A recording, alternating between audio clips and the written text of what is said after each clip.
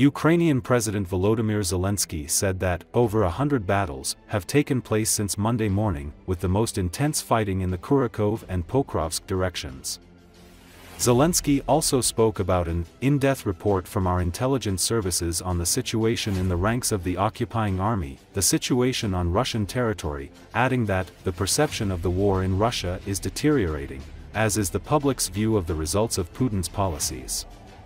We are working to ensure that reality ultimately overcomes Russian state propaganda, he said in his nightly address. Over the weekend Ukraine made a new call on the West to allow it to strike deeper into Russia after a meeting between US and British leaders a day earlier produced no visible shift in their policy on the use of long-range weapons. Вже більше сотні боїв від початку цієї доби. Найбільше Курахівський напрямок, Покровський. Захищаємо позиції окремо і детально щодо Курської операції, і кожен день діємо саме так, як передбачали. Я хочу подякувати кожній нашій бригаді, кожному підрозділу за злагоджені кроки і реальну стійкість. Була також змістовна доповідь розвідки щодо ситуації в армії окупанта та на його території, в його народі. Для нас важливо, що в Росії погіршується сприйняття війни, сприйняття результатів путінської політики. Працюємо над тим, щоб реальність все ж таки подолала російську державну пропаганду.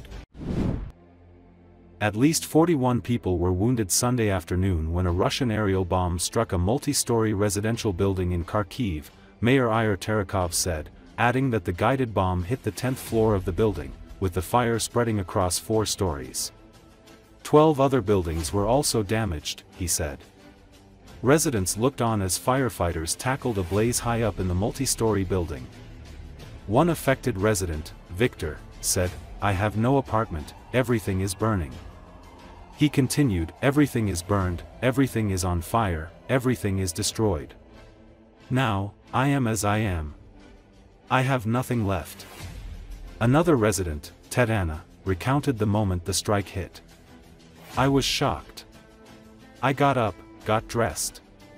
People started screaming, and I went outside, she said.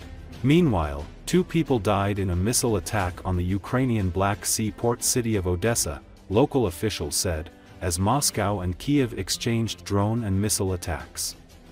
The Ukrainian Air Force said Sunday it shot down 10 of the 14 drones and one of the three missiles Russia launched overnight.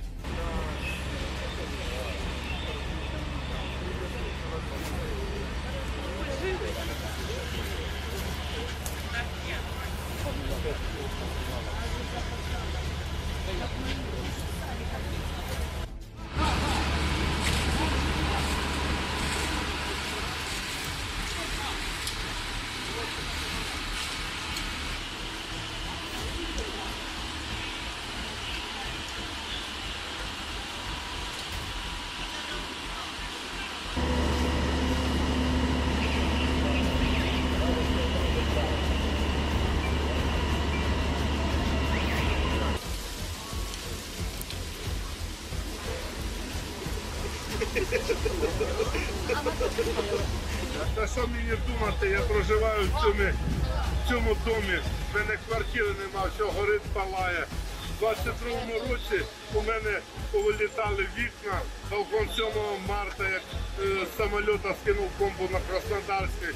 11 апреля з цього сторони повилітало, скільки грошей вложив.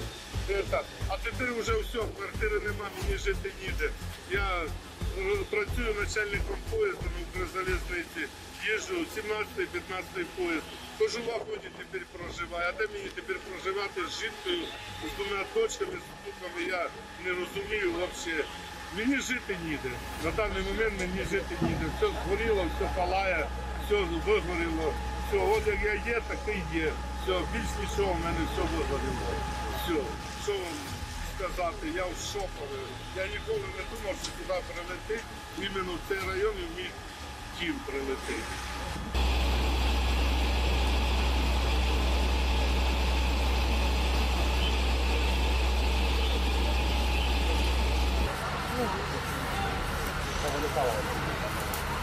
Не, ну я считаю, что это здорово. Уже просто мою квартиру, которая у меня, была там, такого плана. Она собирает.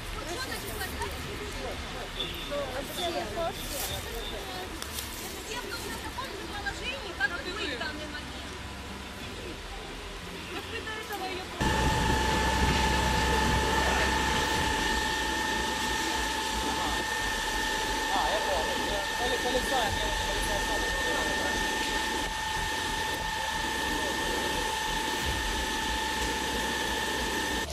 слышала взрыв.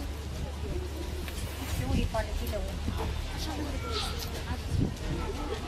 Ну, я была в шоке, э, стала делать, и э, начали бежать, отбивалась, и